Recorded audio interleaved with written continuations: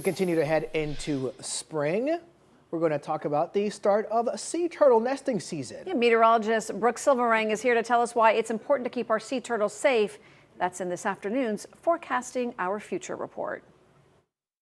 Sea turtles are an indicator species, meaning their health is reflective of what's going on in the ocean. For every 1,000 sea turtle eggs laid, only about one turtle reaches adulthood because of predators and other factors. Sea turtles are still endangered and are challenged with our changing climate. The ongoing sea level rise and beach erosion caused by tropical systems have had negative impacts on sea turtle habitats. Sea turtles are also affected by pollution. Yeah, so the biggest things with sea turtle nesting season is kind of leave no trace. So if you're going to go out on the beach, make sure that you you leave it as you as you found it. Um, if you do find a nesting turtle or a hatchling at night, it's important to leave them alone and keep your distance. Another way we can keep our sea turtles safe is remembering to turn off artificial light at the beach at night. Reporting in Juno Beach, I'm meteorologist Brooke Silverang.